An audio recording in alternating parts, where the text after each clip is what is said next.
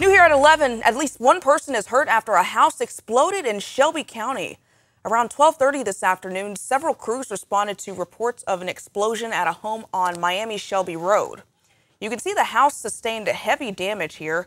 Dispatchers tell News Center 7 one person was taken to the hospital.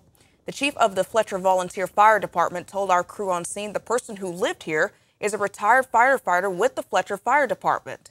He says that person had non-life threatening injuries. We're still working to confirm what caused the explosion, and the chief told us the department is working with the state fire marshal to figure that out.